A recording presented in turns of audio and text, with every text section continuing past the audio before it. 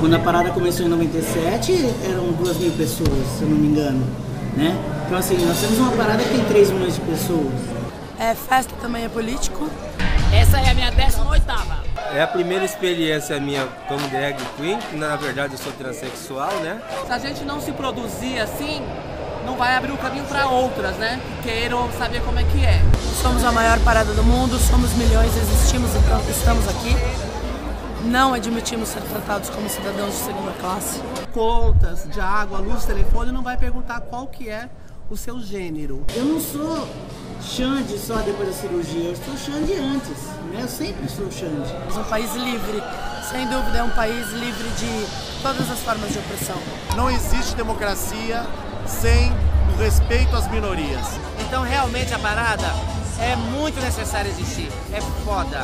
Você que tá aí do outro lado tem uma puta responsabilidade. A responsabilidade de conseguir contribuir para a mudança do Brasil. Muda mais, valeu, muda mais.